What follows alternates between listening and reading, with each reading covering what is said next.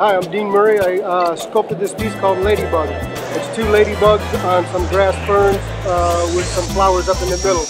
The theme of this contest was springtime, so um, I thought what could I do that would uh, really represent spring and floral really represents spring, but I think that the ladybugs start coming out, and, and I wanted something that would be uh, crowd pleasing. And with uh, the ladybug's uh, shell opened up and the wings coming out from underneath, I think it's kind of dynamic, and the legs. And I'd never done a ladybug before, so I wanted to uh, to attempt it, and uh, it was more than I thought it was going to be, more work. And I thought I'd finish earlier, and I think I was the last one done, but uh, all the parts are on there. Um, it probably was still a little too cold and a little frosty. Um, a little bit of cracks because it was a little too cold, but uh, um, all in all, I'm very happy with the piece, and I think it says springtime, and I uh, hope everybody enjoys it.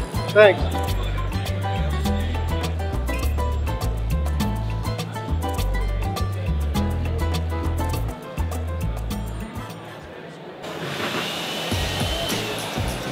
concept for uh, about two weeks. Uh, I wanted to incorporate some steampunk into the into the ice sculpture, into like, like a steampunk fairy with the gears of the clock, and uh, and then we when the, the, the fairy is, is uh, the is, is uh, gearing up for spring. You, you, get to a point where there's not, it's not, not a matter of winning or, or, or losing. It's just challenge yourself.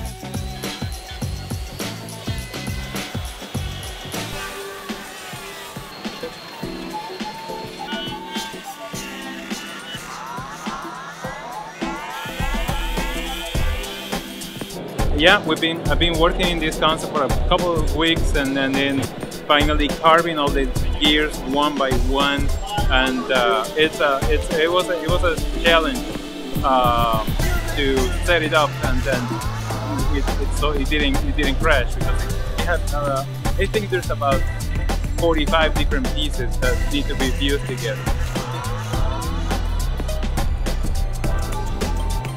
There's 90% possibilities that it's gonna crash and it's gonna break and it's not gonna work, and 10% possibilities that it is gonna work and stay in your, in your head.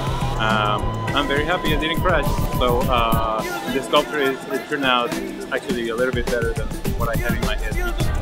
Usually it never happens.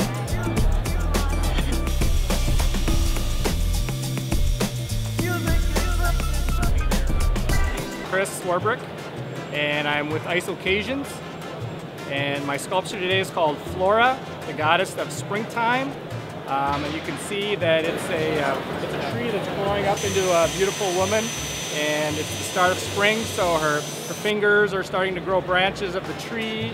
And uh, she's smelling a nice spring flower, the sunflower. Um, and a beautiful butterfly is, uh, is, is flowing right by. Uh, the sculpture itself is made of a block and a half of ice. Uh, it took me uh, about an hour and a half today and then probably two hours in the freezer um, working on the main part of it and the parts that I brought with me. Um, it was fun to compete here. Glad to see the pieces that the other guys are doing. They all look great. And um, that's about it. Our third place prize goes to Chris Swarbrick. Second prize goes to Murray. And our first